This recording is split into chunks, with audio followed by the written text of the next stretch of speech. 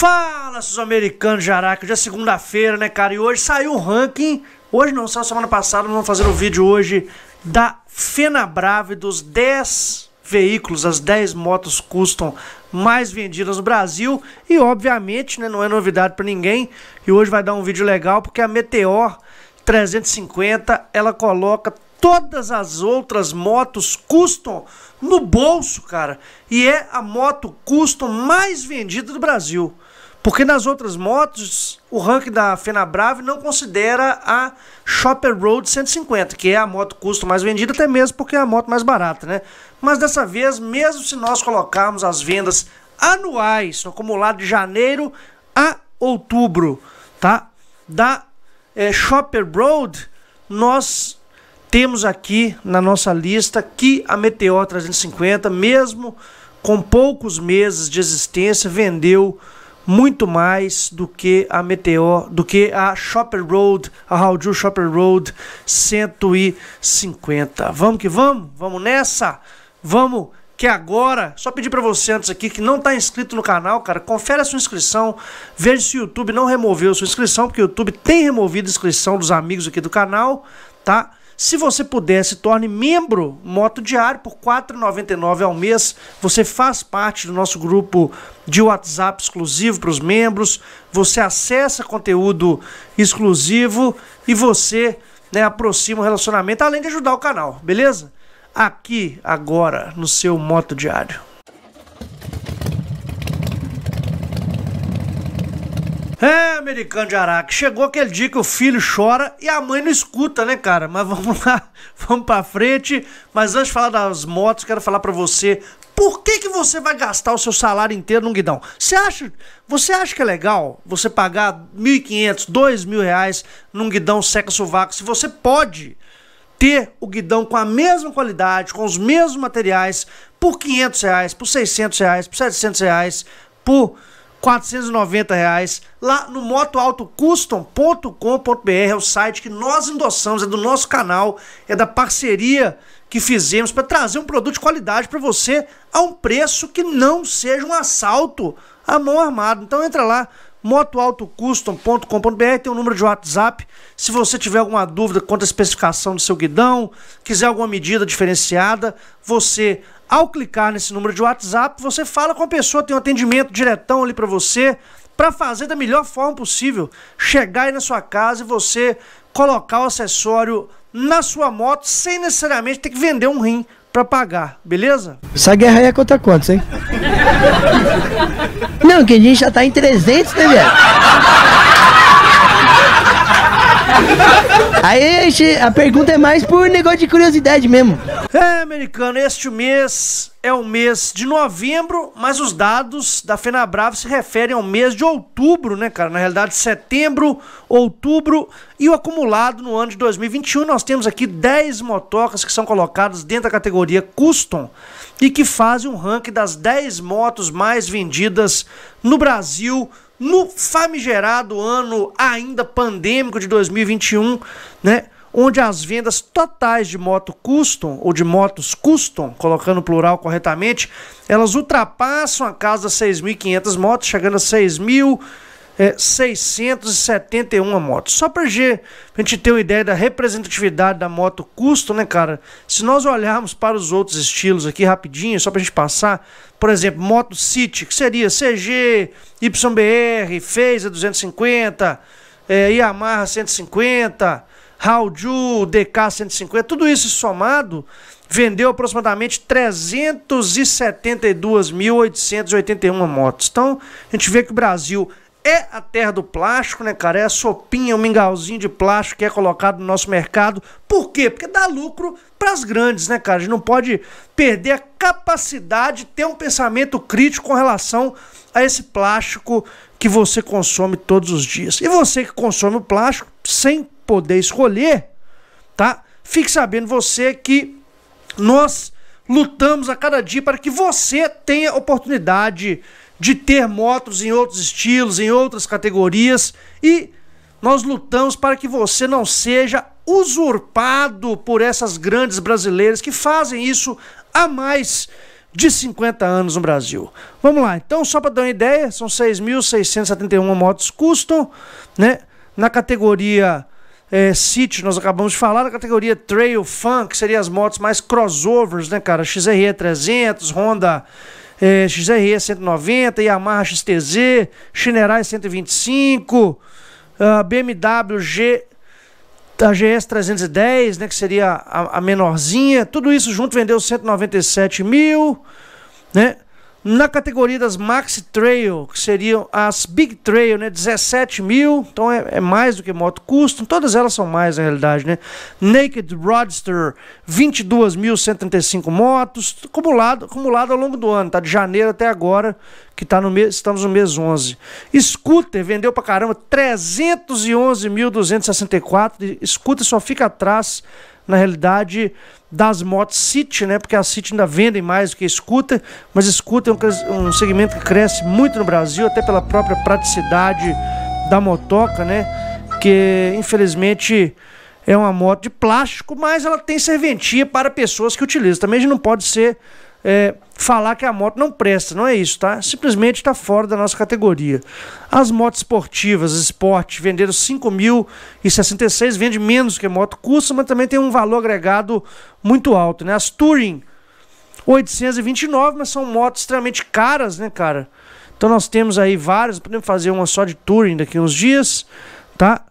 E é isso aí. Então vamos falar de cada uma das motos custom mais vendidas aqui no Brasil no ano de 2021, de janeiro até o mês 10, que é o mês de outubro. Então, na última colocação, nós temos ela, a Harley Davidson Heritage, essa moto que nunca esteve no ranking da Fenabrave, mas devido né, ao aumento absurdo do preço dos outros estilos da Harley Davidson, principalmente aqueles com né, que tinham um valor menor, como por exemplo a Fat Boy, como por exemplo a Lowrider, as Dyna de uma maneira geral, né, como por exemplo a Sportster 1200 e a Iron 883 que saíram de linha, né? Até o ano passado ainda tinha essa moto, esse ano não tem mais. Se tem, é modelo 2020, não é 21.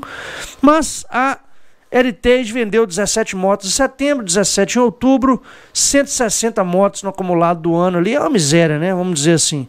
Mas ocupa aí a décima colocação das motos custom mais vendidas no Brasil na é, da Harley Davidson. Né? Na nossa nona colocação, nós temos ela, aquela inglesinha de verdade que tem conquistado o mercado com suas motos no estilo retrô clássico. Essa é a Triumph Bonneville, a Bonneville que está aí, na realidade, é, na casa dos 50 e poucos mil reais, vendeu 15 motos no mês de setembro e apenas 6 motocas no mês de outubro, né? Por, pelo motivo por qual motivo eu não sei, né? Mas caiu bastante a venda de motos. São 161 motos, é uma moto a mais só do que a Heritage da Harley Davidson, mas o que dá a Triumph Bonneville a nona colocação das motos custom, que não são custom, né? Porque ela também não é uma moto custom, é uma moto clássica vintage, mas está aí dentro do ranking das custom, ocupa a nona colocação com 161 motos vendidas. Na nossa oitava colocação, seu americano. Quem vem? Ela de novo, a, a, a Harley Davidson, a FX FBS, FX FBS. Para quem não se lembra, ela mesma, a Fat Bob, a Fat Bob com motor, se eu não me engano, de 114, tá? Foram 38 motos em setembro e o mês de outubro tem uma redução considerável para quase todos os modelos, tá? São apenas 27 motos vendidas em outubro de 2021, totalizando 202 motocicletas também não é um número alto, é um número baixo, né? Se você considerar aí em um espectro anual, né? Desde janeiro desse ano, ela vendeu apenas 202 motos, mas está aí ocupando a oitava colocação. Na nossa sétima colocação, nós temos a Triumph Rocket 3, essa moto linda, maravilhosa, explosiva, com esse motor robusto, saliente, né, cara? Ela dá aquele sensação de uma moto totalmente diferenciada dentro do contexto das motocas custo, né, vamos dizer assim. Essa moto, ela vendeu no mês de setembro, ela vendeu exatamente seis motocas, pouco demais, né, cara? E no mês de outubro vendeu apenas 13 motocas, foi uma das motos que menos vendeu, né, cara? Só que ela vendeu um pouco mais nos meses anteriores, totalizando 202 motos vendidas, mentira, 219 motos vendidas no ano de 2021. Na realidade, foi a única que teve aumento no mês de outubro com relação ao mês de setembro, né? Porque ela vendeu 6, depois vendeu 13, então aumentou um pouquinho a Rocket 3.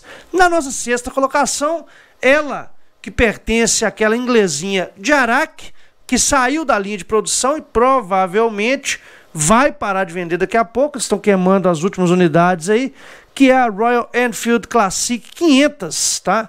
Ela vendeu 17 motocas em setembro e 7 motocas em outubro, totalizando 314 motos. O que motos? O que ressuscitou esse defunto perante o mercado brasileiro de motocicletas foi aquela moto, a Tribute Black, que a Royal Enfield lançou num preço astronômico.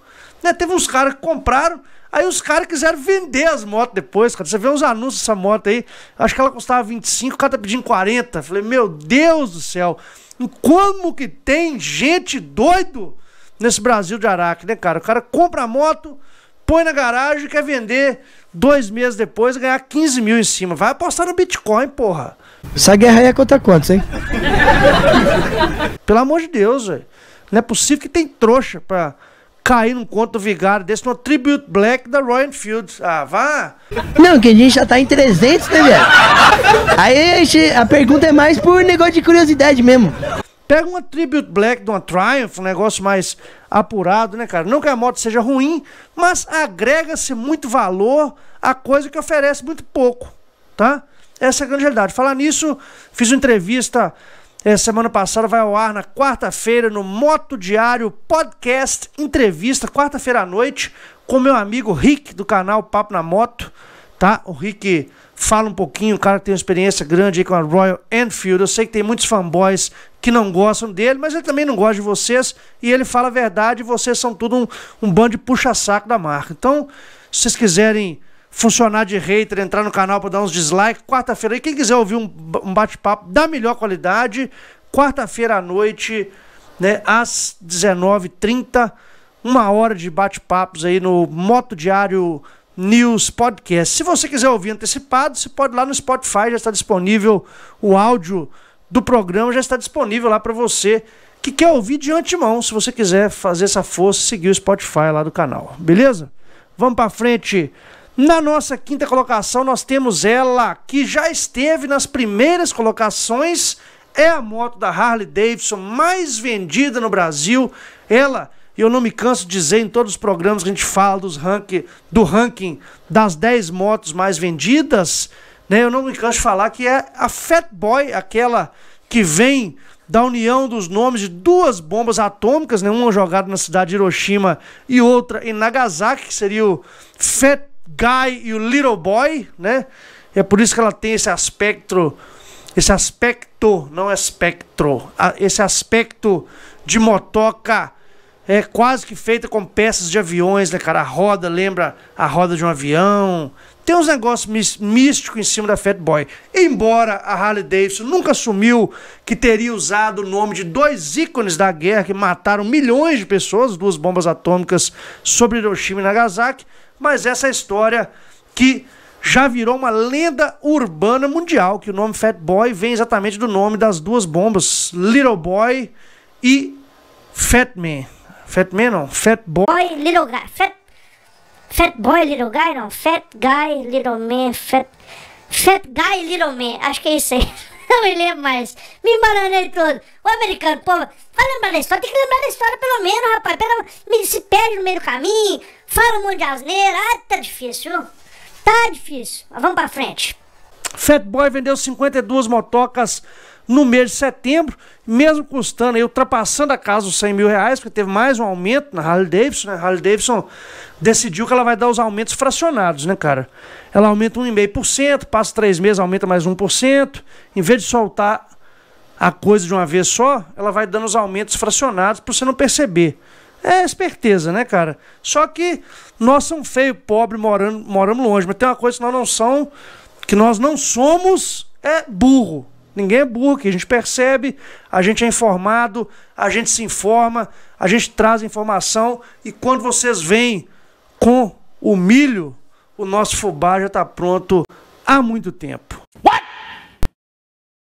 A Harley Davidson, ela vendeu então 314 motos no acumulado do ano, tá? Ocupando então a nossa quinta colocação. Na quarta colocação nós temos ela, a Continental GT, que traz o motor Twin da Royal Enfield, uma moto bonita, linda, maravilhosa, mas é muito menos vendida do que a sua irmã Interceptor, né, cara? A Continental GT vendeu 33 motocas em setembro, 29 em outubro, totalizando 518 motocas vendidas no ano de 2021, o que dá a ela a quarta colocação no famigerado ranking da Fenabrave no Brasil, Tupiniquim de Araque, né, cara? Na nossa terceira colocação nós temos ela que já, né, viveu os louros da majestade, mas caiu categoricamente com a chegada da inglesinha de Araque, que seria Kawasaki Vulcan 650S, ela que esteve nos topos da parada durante muitos meses no ano de 2020, né, até mesmo no final de 2019. Hoje vende 120 motocas em setembro e 87 em outubro, provavelmente porque teve um aumento considerável de preço, né, cara? Essa moto, ela sai da casa dos 36, 37 mil, vamos colocar assim, e ultrapassa a casa dos 44 mil reais, zero quilômetro. É um preço que está salgado, mas ela ainda assim vendeu 822 motocas no ano de 2021, calcando aí a terceira colocação, da qual jamais sairá. Pode até cair, mas para a primeira não volta nunca mais. Na nossa segunda colocação, nós temos ela, Royal Enfield Interceptor, aquela que há muito tempo atrás roubou a primeira colocação da Kawasaki Vulcan 650S, porque tem um preço melhor, tem uma motorização similar, embora seja menos potente, mas tem uma motorização similar, tem um estilo clássico que agradou o brasileiro, retrô clássico, uma moto bonita. Para mim ela parece um CB450. Pronto, falei. Parece. Parece um CB450. Do que doer. Mas uma moto linda, clássica, moderna, que vendeu 78 motos em setembro, 47 em outubro. Note que as vendas da Interceptor, Interceptor elas caem assustadoramente com a chegada da Meteor 350, que foi a partir do mês de julho, tá? Vamos lá. Totalizando 1.189 motocas vendidas no ano de 2021, obviamente a maioria delas anterior à chegada da Meteor 350. Essa que por sua vez ocupa, né, por um bom tempo até que outras marcas tenham coragem. Porque elas não têm coragem, porque elas são elas fazem falcatrua com o povo brasileiro com essas motos de plástico. Mas o dia que uma grande dessa de plástico tiver coragem, talvez a situação mude.